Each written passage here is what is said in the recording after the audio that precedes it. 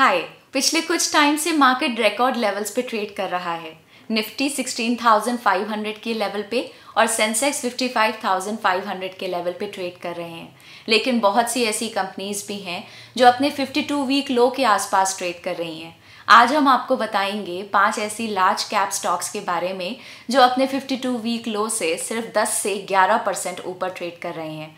अपने 52 वीक लो से ये स्टॉक्स कितना परसेंट ऊपर ट्रेड कर रहे हैं, वो कैलकुलेट करने के लिए हमने ट्वेंटी अगस्त 2021 यानी कि मंडे को मार्केट क्लोज होने के बाद जो प्राइसेस थी, उनको कंसिडर किया है।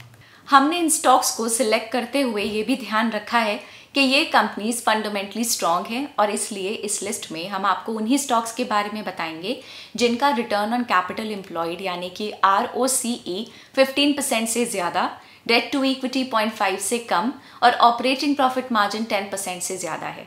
रिटर्न ऑन कैपिटल एम्प्लॉयड यानी कि आर ओ सी ई ये बताता है कि एक कंपनी अपने टोटल इन्वेस्टेड कैपिटल पे कितना प्रॉफिट अर्न करती है। टोटल कैपिटल में शेयर होल्डर्स की इक्विटी और कंपनी की बोरोइंग्स या फिर डेट दोनों ही इंक्लूड किए जाते हैं।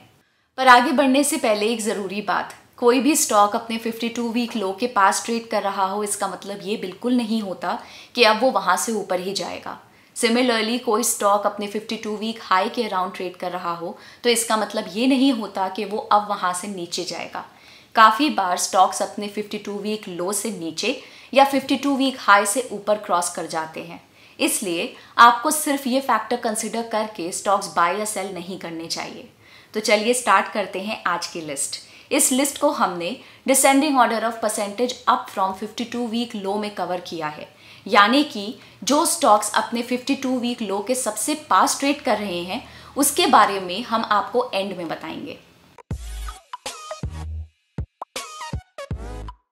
पहली कंपनी है एग्रोकेमिकल बिज़नेस में engage Bayer Crop Science Limited Bayer Crop Science अपने 52 वीक लो से 11.07 परसेंट ऊपर ट्रेड कर रहा है।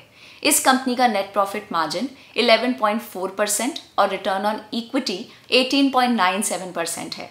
कंपनी का debt to equity ratio zero है, यानी कि कंपनी कंप्लीटली डेट फ्री है और पीई रेशियो 50.11 है। पिछले पाँच साल में कंपनी की सेल्स 9 परसेंट के रेट से कंपाउंड हुई हैं। पिछले एक साल में कंपनी का share price minus nine percent से गिरा है और पिछले पाँच साल में कंपनी ने सिक्स परसेंट का कंपाउंडेड एनुअल रिटर्न दिया है। दूसरी कंपनी है इंडिया की one of the leading pharma companies में से एक Dr Reddy's Laboratories Limited Dr Reddy's Laboratories अपने 52 वीक लो से 9.19 परसेंट ऊपर ट्रेड कर रहा है। इस कंपनी का नेट प्रॉफिट मार्जिन 10.26 परसेंट और रिटर्न ऑन इक्विटी 11.66 परसेंट है।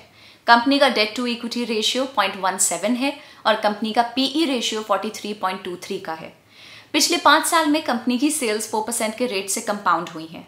पिछले एक साल में कंपनी का शेयर प्राइस सिर्फ़ वन परसेंट बढ़ा है और पिछले पाँच साल में कंपनी ने एट परसेंट के कंपाउंडेड एनुअल रिटर्न दिए हैं। तीसरी कंपनी है government owned oil and gas company Petronet LNG limited. Petronet LNG अपने 52 वीक लो से 8.9 परसेंट ऊपर ट्रेड कर रही है।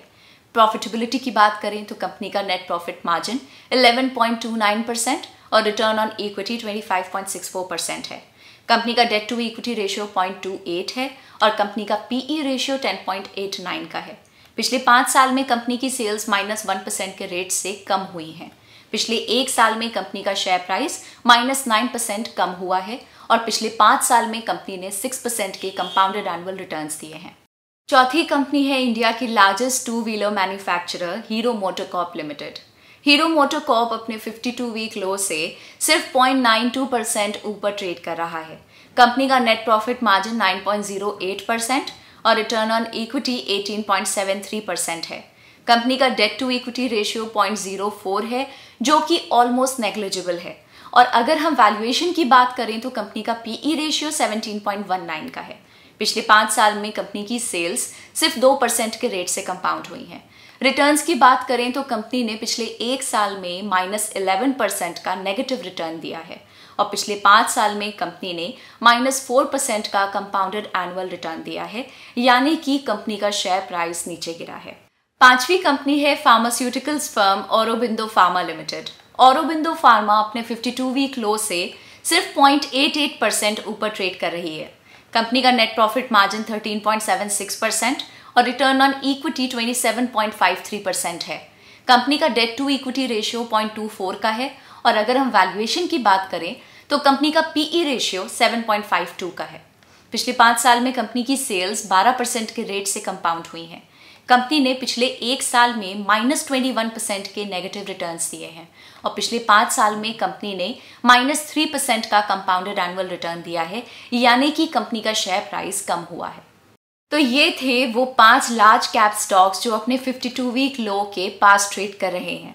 हम आशा करते हैं कि आज का ये वीडियो आपको पसंद आया होगा। हम आपको याद दिला दें कि ये वीडियो सिर्फ़ एजुकेशनल पर्पस के लिए हैं, ये कोई बाइंग या सेलिंग रिकमेंडेशन नहीं है।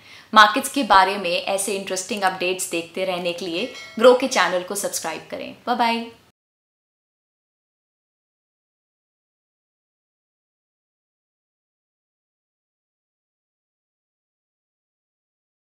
Investment in securities market are subject to market risks. Read all the related documents carefully before investing. Please read the risk disclosure documents carefully before investing in equity shares, derivatives, mutual fund, and or other instruments traded on the stock exchanges.